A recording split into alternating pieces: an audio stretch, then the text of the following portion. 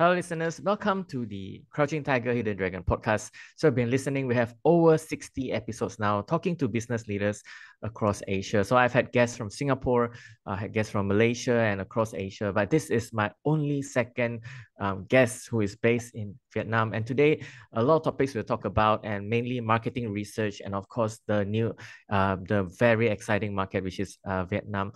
Uh, today, we have Thue Quist Thomasen. So I hope I said that right. So I just asked him before this call. He's the CEO of Decision Lab based in Vietnam, and he is the first Dane as well on on, on the podcast. Um, so he's the CEO of Decision Lab, uh, 20 years of uh, experience in marketing research uh, and also consulting and he grew uh, and led many um, companies when it comes to marketing research as well. Um, he has a polit- international business and politics degree from Copenhagen Business School and also Hong Kong University of Science and Technology as well. Um, so very well versed with both Europe and Asia. And he is also very active in the EuroCham and NordCham in Vietnam. So he's, he's, he's the perfect uh, link between Asia and also and also Europe as well. And uh, he's a frequent speaker at conferences on branding, marketing, and economic development in Vietnam, and a frequent contributor on Vietnamese television in uh, on these new news outlets. So I'm very happy to have him. Uh, Thue, uh, welcome to the show. Thank you very much for having me. I'm very excited about this. Thank you. So being the second guest on uh, second guest from Vietnam on my show, so um, my first question to you is, uh, what is your favorite kung fu movie? So, so interestingly enough, we, we don't talk that much about kung fu in in in uh, in Vietnam, but but I would say it's probably a little bit Western inspired. So my favorite would be uh, Kill Bill. Also, just uh, I I love the Tarantino uh, movies. Yeah, I, I love Kill Bill as well. So I love um, you know, Uma Thurman is amazing uh, in, yeah. in that movie. Of course, that movie is very much uh, inspired uh, a lot of times. Uh, so Quentin Tarantino in, in his in uh, some of his movies is very inspired by Bruce Lee, which is the ultimate kung fu yes. kung fu uh, kung fu movie star. And uh, Uma Thurman and I I still remember one of the songs in, in the movie as well. Great great great movie, a very good cinematography great watch. Uh, so uh, thank you for sharing uh, me about, about that. And yeah, so for first question, I'll, I'll get into it. So uh, you're the CEO of Decision Lab, right? So tell us more about Decision Lab as well. Yeah, so, so Decision Lab is a market research consultancy, uh, and, and we are we are based out of uh, Ho Chi Minh City, Vietnam, and, and we're quite uh, privileged to be a, a Vietnam-based agency because it really allows us to to focus in on uh, on the issues that are important in the Vietnamese economy right now and to the Vietnamese consumers. So so our vision is to to lead the development uh, in Vietnam and to inspire companies in Vietnam to do better and to to customize their offerings better to to Vietnamese consumers who are indeed quite interesting to follow and, study. Thank you, Thue. I think maybe can you share with us some of your journey? How you know how do you get started? You know how many years are you in Vietnam, and then how do you end up with now being the CEO of Decision Lab? Yeah, yeah. So so I've, I've spent uh, altogether uh, 18 years in in, in Vietnam. Uh, so this is really my uh, my adopted home country. Um, I, I've uh, you know, since child been been uh, living in in Asia, uh, and when I was studying in Hong Kong, it was natural to continue to uh, back to Vietnam. Um, and at that stage, uh, we got the opportunity, my co-founder and I, to uh, to present to a, a larger uh, research company in in Europe and suggest for them to to set up in Vietnam. Both at, at that point, it was still early stages in the market, so it was a business case of both doing uh, outsourcing of some like back office support for, for research projects in in uh, in Europe, but then at the same time slowly develop consultancy for for the market in Vietnam and for companies trying to expand their business here. And a few years down the line, we got the opportunity to do a management buyout. And that was really a, a time to look at, you know, what have we done so far? We had built the first online panel in Vietnam, which was very new at that stage. We've been quite good at, at introducing new uh, tech solutions to the market and be quite agile in terms of how we, you know, apply creativity, agility to make sure we could we could find the right solutions for the clients. So, so at that stage, we we uh, looked at the market. We looked there were some shifts in in the media usage in Vietnam. Things were going more digital. Um, most people in Vietnam were starting to you know be online. Uh, there was a huge boom in Facebook at that at that point in time. So we uh, we founded Decision Lab based on that. So we were lucky already to have some excellent clients in Vietnam and overseas. Then we, we founded this agency. We worked with a very cool uh, branding agency called Innate Motion to come up with the name and the storyline and, and things like that. And from there, we have really tried to, to develop a, a Vietnam-based uh, leader in the industry. Thank you so much. And yeah, it's a, a great story there. And I think uh, I also received some of your emails while, while I was inviting you to the podcast. And, and one of the emails I received just this week was an email about the business confidence index. So I've yes. not I've not uh, signed up for it, uh, but what can we expect in this business confidence index? So so we we try, especially these years where where the macro economy means so much to so many. So so we we're really trying to have a focus on this uh, in order to to serve uh, our clients better in Vietnam. And uh, for the past six years, we have been uh, been conducting uh, the Eurocham Business Confidence Index uh, in Vietnam. And it's been interesting to follow because it's every quarter we can see how, how it moves.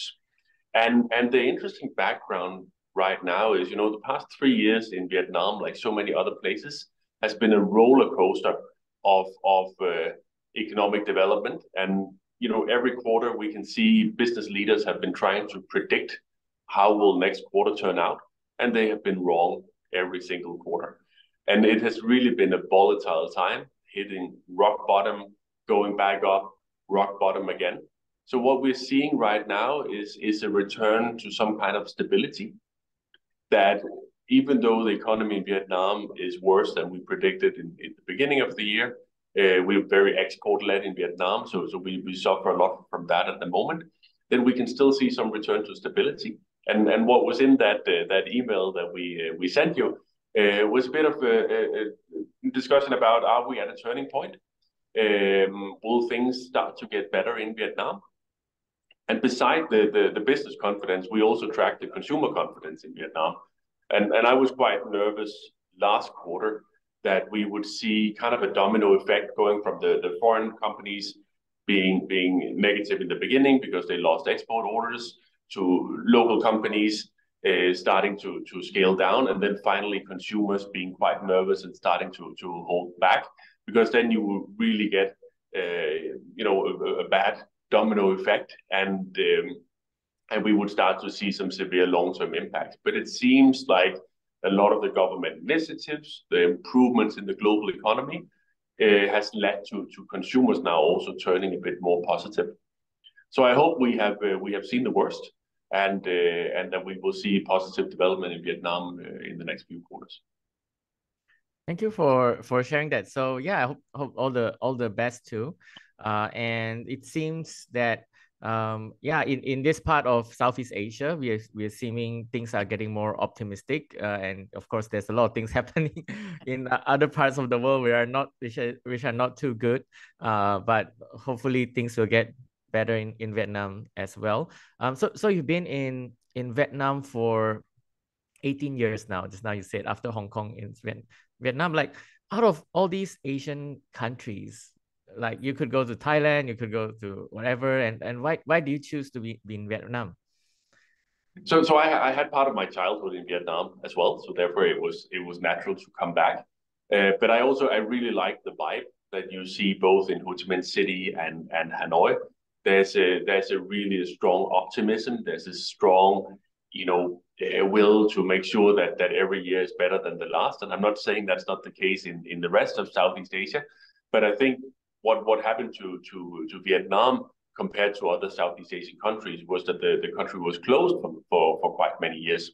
And therefore, you are seeing these these past uh, years, basically since uh, 1985, that that opening uh, up to the, creativity, the business acumen of the Vietnamese means that we, we, we have a natural stable growth because everyone wants to do better every year. And that, that makes it a very vibrant place. even when you when you visit, you know, poor provinces or, or place like that, you will still you will still meet this optimism because people are still better off than last year. Um, and, and, and this continued progress, it really does something to, to a place like this and, and makes it a wonderful place to live and to grow your business. Thank you. Yeah, you're you're my first guest from Ho Chi Minh. My previous guest, um, he was actually from Hanoi. Uh, yeah.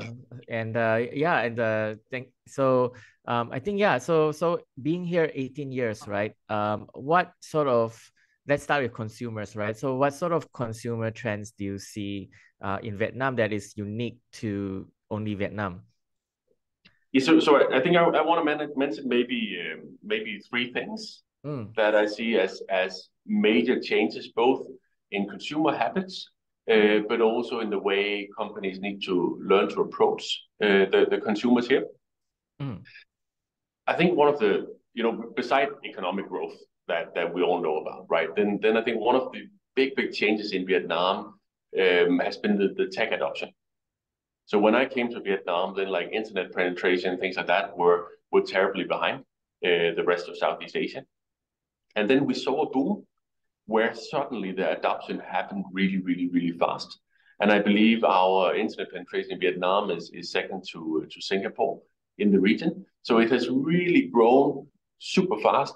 And, and, and this, this means not only, you know, that, that people have the access, it also means that the way new, a new generation in Vietnam learns is, you know, from the whole world, taking Coursera courses, exploring everything globally. So it changes very much the mindset in just one generation in terms of, of being more internationally minded, in, in terms of you know learning from from everywhere uh, around the world. And right now, it means that a lot of tech startups are coming to Vietnam because it's a really good place to test out new technology. So, so we saw during COVID, of course, you know, a push for for for cashless payments. I think we saw that everywhere around the world. But but in a in a country like Vietnam where cash was king and no one would have imagined that that uh, Vietnamese people would go cashless, uh, it really happened almost overnight, and and this truly changed the mindset. So that that now after the COVID period, I think you can almost live your life in Ho Chi Minh City without without bringing cash maybe the restaurant you visit will be a bit more expensive, but but you will still see quite a lot of like street vendors, etc., using e-wallets and different technologies like that. So so I think I think the tech adoption, both how far we have come, but also the speed of new tech adoption uh, that that we have arrived at in Vietnam is is is really a, a game changer. Then I think as many other places in Southeast Asia, the growth of the middle class is really one to watch because when I arrived in Vietnam, it was classic, you know, developing country where um, where FMCG companies like Unilever would be doing really well. There would be a high growth in, in basic needs. And you had the high-end luxury brands doing well because you will always have an upper class.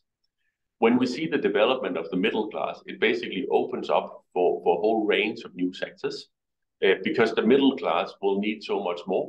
They will need educational opportunities. They will need new healthcare services. They will want to travel abroad and see the world. And, and that has really changed, you know, the, the, the range of goods and services that, uh, that the, the Vietnamese consumers are demanding. And, and this, this proportion of the population that is the middle class, we will see that continue to grow. And, and Vietnam will become, you know, a country with one of the biggest uh, middle class populations uh, in in the world. So so that's going to be a super interesting development. And I think what all this means is we had an interesting birthday uh, last year in Vietnam, where uh, no, I believe it was this year in Vietnam. Sorry, I think it was back in April. The the 100th million citizen was born in Vietnam and and we have had a high population growth. Um, that that over time will will uh, will uh, you know have have a huge impact. Hang on one second. Thank you. No, so so I, I think the, the the third trend that we have seen, uh, or, or, the third, third impact is you know this year in April we had the hundred million citizen being born in Vietnam, and and the the impact of, of of that is of course you know it is a very large population. And because we have a growing middle class, a growing group of consumers demanding new goods and services, then it's very important for companies now to start focusing, start narrowing in on, on, the, on the niche uh, population group that they can really serve because the competition is getting tougher. So if, if you if you arrive in Vietnam with an idea that all 100 million should should uh, should buy your, your goods or services, that's going to be quite an uphill battle. But if you're really good at understanding what, what are the, the specific needs of, of uh, the people you want to target, then you have a much better chance. And I think actually a lot of uh, Southeast Asian companies could have an, an opportunity there because I see some of the Europeans, they have a little bit of difficulty understanding this because there you're used to smaller populations typically where you where you target uh, broader but I think in, in, in Vietnam, we, or sorry, in Southeast Asia, we understand that there are of course, differences in, in society and there are different uh, demands. But also Vietnam, now you talk about, you interviewed someone from Hanoi last time. I mean, the, the, the, the perceptions, the needs, uh, and so on in, in, in the north are very different than in the south. It's a, it's a 2,000 kilometer journey. It's what, 2,000 kilometers? Yes, depending on which way you move oh my god it's uh yeah in uh i'm i'm from malaysia so for context right um yeah the, the malaysian peninsula is like from singapore to thailand it's about a thousand kilometers so it's double yeah. it's, yes. it's, it's double that from hanoi to Ho Chi Minh. so i just learned that i wasn't even aware being a host of a asia podcast i wasn't even aware of that so yeah thank you so much Lord. 100 million um, Vietnamese uh, people in Vietnam. So that is that is uh, amazing indeed. Um, so I like the the point on tech adoption. So I believe most of Southeast Asia, uh, we did not have computers. we jump straight to the mobile, and that's why you know, you like you said, the tech adoption, the mobile payments make sense. Um, and of course, uh, in in a lot of places in Southeast Asia, uh, just for the listeners, uh, you get 4G or 5G, and but you cannot make a call uh, the internet is first. so yes, you can make a WhatsApp call. Like I call my mom on WhatsApp all the time. It's better. she can reach me better on WhatsApp than than any any other things. And I, uh, I remember actually earlier, but we, we did some research. I think it was in Indonesia where where we asked people if they had access to Facebook and if they had access to the internet, and the answers were higher for access to Facebook. And basically, because that that was the, the first point of entry. So you didn't see, you just saw it as Facebook, but it was not the internet, right? So, so, so in that sense, it's it's you know we, we live in a different world now where it's not necessarily just browsing, right? It's it's the access to different apps, to different platforms that that you use in your daily life. Thank you. And uh, I, I I heard you say Facebook, so I know that Facebook is huge in in Vietnam, and I believe I've I've heard somewhere that they use Facebook very differently. Like they have very aggressive groups and things like that. Uh, and I'm, I'm not sure if if other apps are there. I'm not sure if like Line or things like that are there or WhatsApp. So maybe uh, can give us an overview of what is in a typical person in in Vietnam, what is in their home screen. Yes. So, so I think um, if, if, if you look at the, the connectivity of, of the Vietnamese, it's true that, that Facebook is really the, the, the do everything app in, in, in many ways. There is a very high penetration. Um, and and people, you know, where, where I come from, then then you would typically do your your work related things on LinkedIn, and and private stuff on Facebook. But but I think in in this culture it merges a little bit together, and and everything becomes becomes your network. And therefore, Facebook is to a very high extent also used professionally. So so uh, so Facebook plays an important role uh, in many different spaces in that sense. But of course, when you get a very high penetration on Facebook, then like everywhere in the world, and the teenagers they start to to wander to different platforms because when you are young in Vietnam and things have changed so much, then your parents' generation doesn't necessarily understand your lifestyle, your life choices, and therefore you prefer to have a very nice polished Facebook profile, but then maybe you know do your business on on uh, on TikTok, uh, on instant messaging, etc. So so TikTok has had a huge growth here. And, they are also really pushing uh, recently in the e-commerce space with TikTok Shop. So, that's a really, really important one to watch. And we saw last quarter they were actually having their, best quarter uh, so far in Vietnam. So there's a continued growth there. Then Vietnam has its native uh, Zalo, which is part of a conglomerate uh, where you have all kinds of services available. But but Zalo is a really important platform, especially for instant messaging. and and they are competing head to head with with Facebook Messenger on on penetration. Uh, and I would say in some ways, you know, the, the, the, usage is, is higher in Vietnam. You can't live in Vietnam without uh, Zalo. And they have also introduced um, Zalo Pay as an, as an e-wallet. And the combination of, of the instant messaging and, and the e-wallet has meant that, you know, that the, the e-wallet has really grown super fast and, and being able to, to challenge what is the, the, the local uh, dominant uh, e-wallet Momo which I believe most people will also have on their phone. So that's a little bit of a picture into the, the, the main screen on the phone in Vietnam. Interesting. Like um, Facebook Messenger is the main form of communication. Facebook Messenger and Zalo. How do I spell Zalo? It's a S A L O. How do you spell it? Z A L O. Z A L O. Wow. Okay, so I, yeah. if I, I, I ever go to Vietnam soon, I will I will definitely get the yes, the Zalo. And, that one. But, and, and I think what, what you need to remember regarding the the, the messenger platform and generally instant messaging is you know there, there's a lot of social commerce going on in Vietnam. I think it was 10 years ago we did the first study on e-commerce in Vietnam and we had to check the data three times because there were almost as many people that claimed that they were selling online as buying online. So so uh, Vietnamese they uh, they trade uh, everywhere. I think there's a saying in Vietnam: if you have two women and a dog, you have a market, right? Then they will start trading. So so it's it's it's really a, a, a country where you know then people will bring carry-on items from Singapore. They will do different things to to to trade and to make a, a, bit of extra money on the side. And therefore, social commerce is huge and has always been it. And I've had quite a few calls from investors from Singapore, Malaysia, other places that that um, in theory believe you know that that the social commerce space will eventually be taken over by e-commerce in so many other places. I think what is just important to remember in Vietnam is that social commerce is, is part of our DNA. It's it's it's really part of how people trade. So I think also I'm now I'm of course not the typical e-commerce user in Vietnam, but I do most of my purchases with Messenger or with Instagram, and basically just communicating to small shops.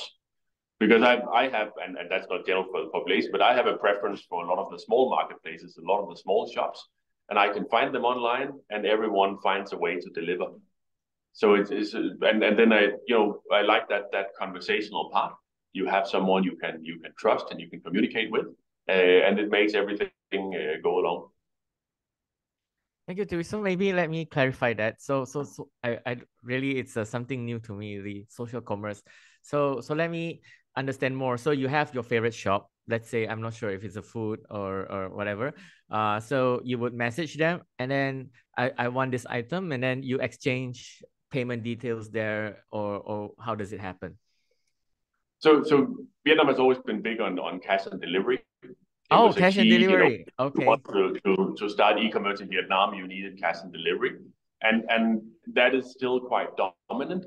But but the e-wallets they play a huge role here, and as a countermeasure to e-wallets, then um, the the digital banking apps have really turned around uh, and and made you know very fast or instant payments available. So actually, with your dusty old bank, you can open their app and you can make an instant payment to the to the guy on the motorbike in front of you, or the merchant, or, or whatever, and you can show the on the screen the completion of the of the payment, and then you're good to go.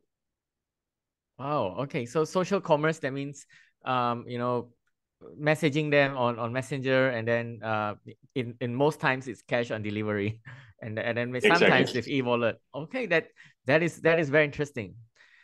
Yeah, and, and it, it makes for an interesting market for a lot of uh, niche uh, shops, right? Because maybe you have a small shop uh, in in Hanoi, and uh, and you you know you you have you have a niche product, but, but suddenly you can sell to the to the whole Vietnam, right? Wow. Okay. Interesting. Yeah.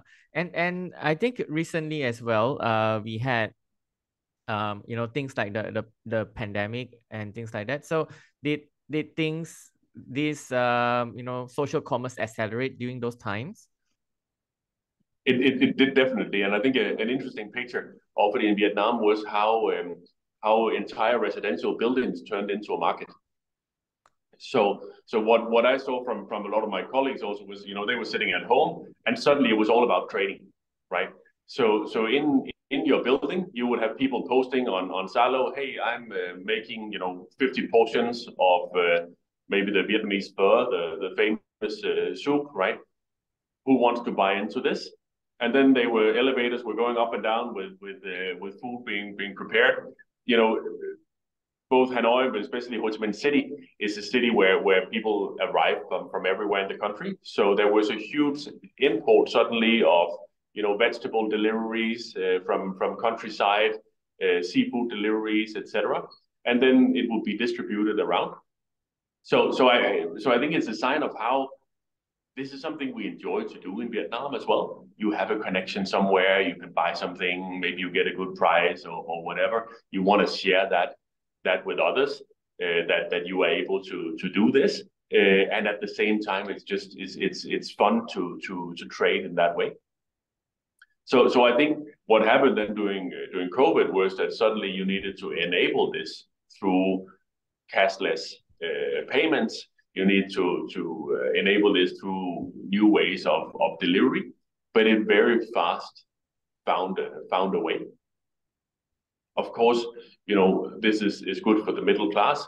And, and we had a, we had a huge group of, of underprivileged, especially in the bigger cities, who, who were then in deep trouble because, first of all, people who, who live on a on daily paycheck, you know, who were not able to to uh, to earn an income, were not able to participate in this. So if, if, if, you know, of course, you know, benefits people who are able to do this, who uh, had their office job that they could do on Zoom, etc uh, while you know huge group of, of underprivileged in, in, in Vietnam was not able to access this.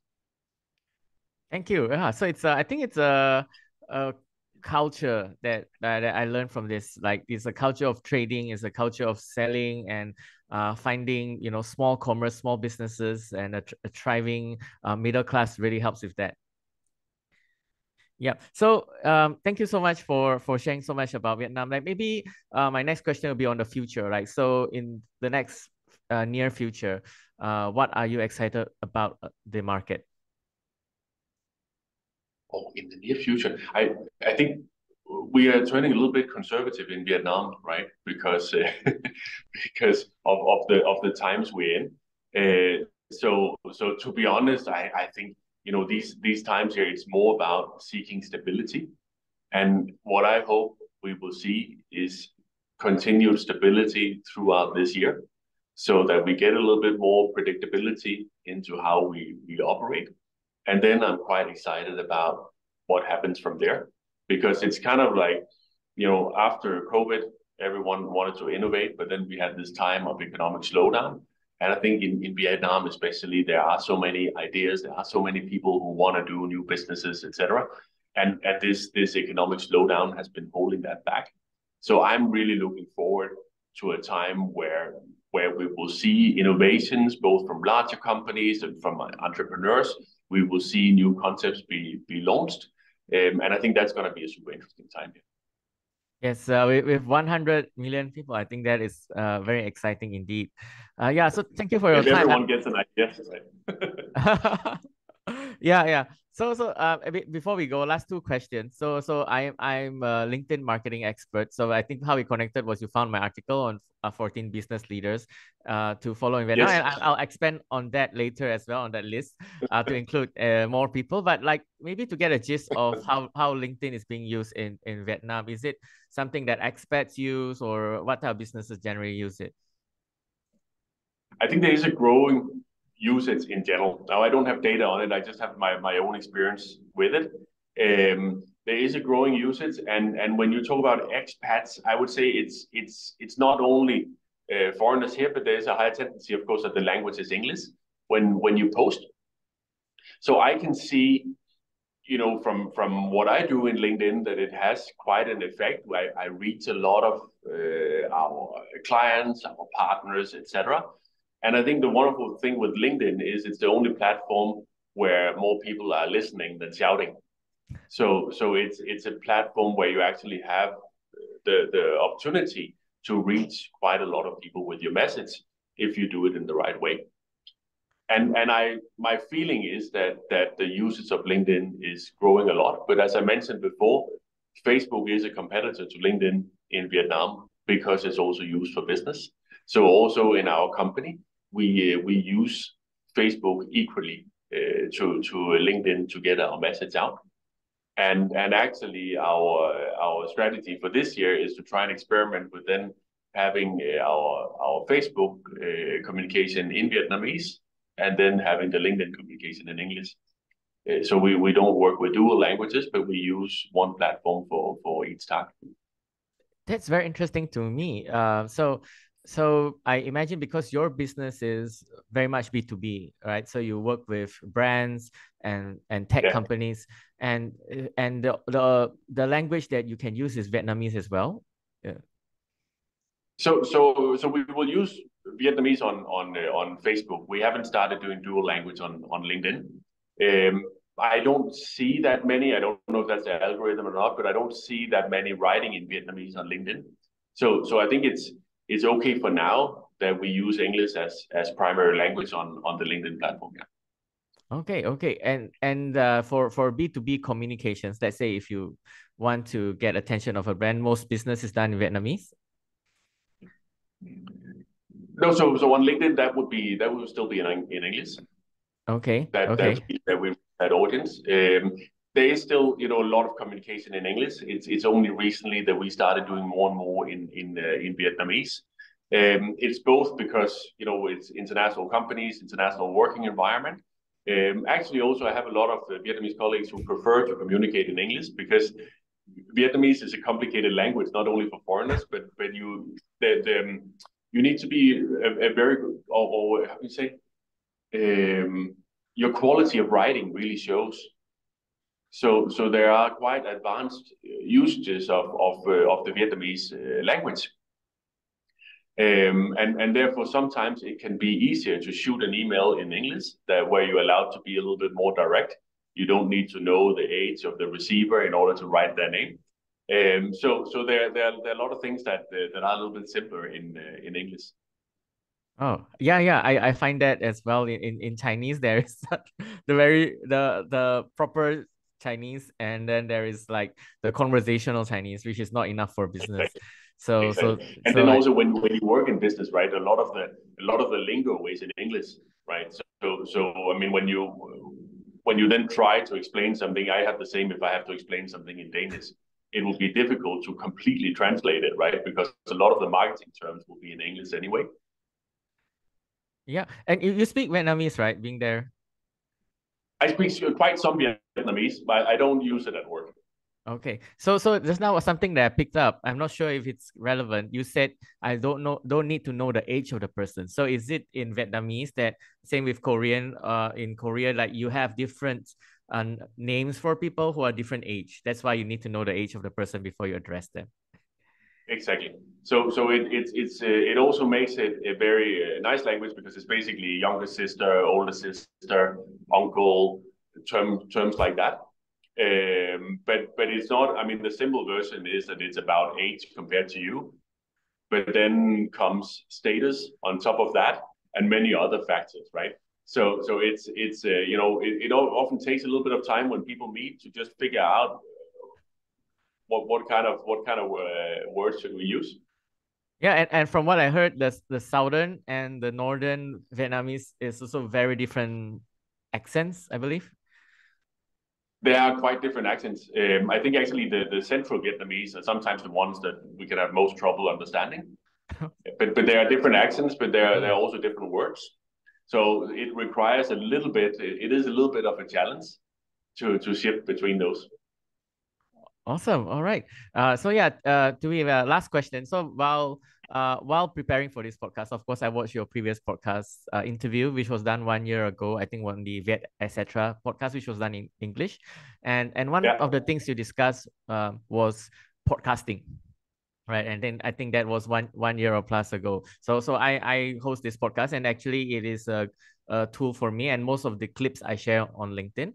Uh, but what what are your views on on podcasting in in asia in general? That's a bit of a difficult question because Um, okay, so so maybe I, I'll I'll share Yeah. I'll share some observations uh while doing Yeah. research for this. So uh. I see a Vietcetera is the only English uh business podcast I see in Vietnam. Uh, I see a lot of tech startup business podcasts in Vietnamese. Uh, um, so Mm. so maybe the word podcast is not. Uh, I I I don't need it to be purely on Apple uh Apple Pod or whatever. Uh, but Mm. it's, it's essentially long form video or, and long form interview or long form discussion uh sort of content. Um, so so what what are your observations on that? Yeah, but I think that uh, I, I do not recall the the data we have on because we, we we track penetration of podcasts and things like that. But I think also now I've I've been participating in a few. There was one from the from the etc. Um, I I joined one uh, called You Don't Know Vietnam uh, Oh. recently. Also Yeah. quite quite interesting uh, production there. And I think uh, yeah, then then we had through Nordcham we had a, a collaboration with a very successful uh, podcast called uh, Viet Success, and and it's interesting to see, you know, what what works and what doesn't work. I think one thing to be clear about in Vietnam is if you want to make a podcast, then it's not just for iTunes and Spotify. So so if you if you want to produce a podcast, you really need to be in a lot of spaces, and I think YouTube is quite critical for this.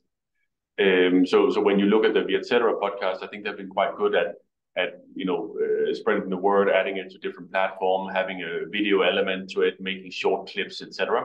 So I think you you really need to to work across platforms to to really make that work.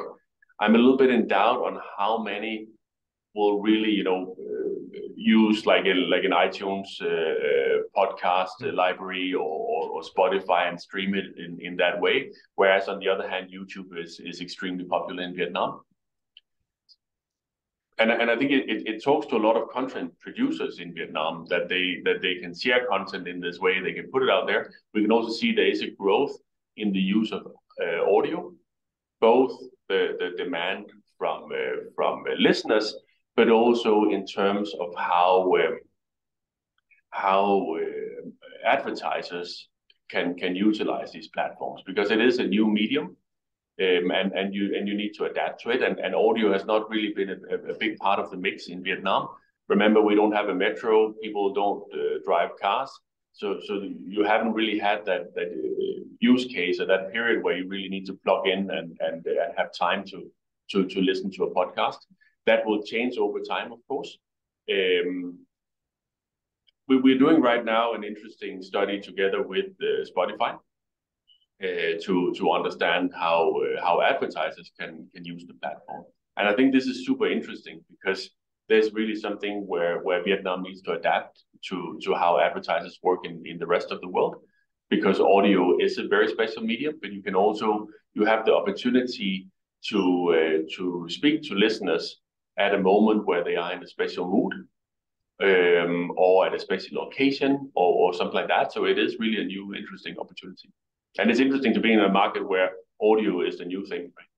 Yeah, yeah, yeah. Thank, thank you for sharing that, and I, I, I think uh, that is a great insights uh, based based on your experience as well. Uh, what I believe in podcasts in, in the region in, in Malaysia and also other other um countries as well is that uh, it's it's a medium not not just about the form of the medium it can be youtube can be anything uh, but i believe it is a good platform to share interesting ideas like we just talked about vietnam and the economy uh, so I, it, I believe it is not only the form but also a habit of learning so it is not just it is the only platform where you can talk about topics like this and not on on youtube or tiktok where you you know just share thing go there for entertainment but i see that in southeast asia especially vietnam there's an appetite to learn so one of the Mm. best ways to learn is to watch a video. Uh, so so Mm. best ways to learn is a podcast before you go to you know books and things like that as well. Exactly.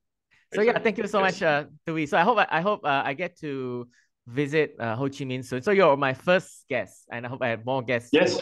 from Ho Chi Minh. Maybe tell us something Let before you go. Tell us something interesting about Ho Chi Minh. Yeah, but I, to me, Ho Chi Minh City is a, a super interesting place to be, and basically because the city keeps reinventing itself. So it's it's not necessarily a place where you need to look up what are the famous sites and where do I need to go. It's more of a place where you need to find your your favorite coffee spot, uh, find nice restaurants and things like that, and and do a bit of people watching and see how the city develops. And now Ho Chi Minh City really changed during COVID because the the city center where where we work is um, you know is is really dependent on business travelers um, also for the occasion, you know, when you invite business travelers out, etc., you go to a restaurant in District One, and and those businesses they really really suffered uh, during COVID. A lot of them moved out to to District Two, where where which is now a really really attractive uh, area to to visit and to dine and, and, and be entertained. Um, but what is interesting to see then with all these, uh, you know, uh, closed shops and closed restaurants, is what, what will happen next. Because it also opens up for a lot of new concepts to enter, a lot of new people with ideas to uh, to open new restaurants. And I think the the food foodie scene in, in Vietnam keeps getting better and better every year. Now we received the, the Michelin guide uh, this year in Vietnam, and I'm sure that will be part of you know a, a new new push to uh, to reach new heights and to experiment more. And I'm really looking forward to see that. Thank you so much, Thue. It was a pleasure. Uh, a great conversation with you. Thank Likewise. you so much. And I hope to visit uh, Ho Chi Minh soon as well. Thank you so much. Please do. It's an interesting place. Yes. Thank you.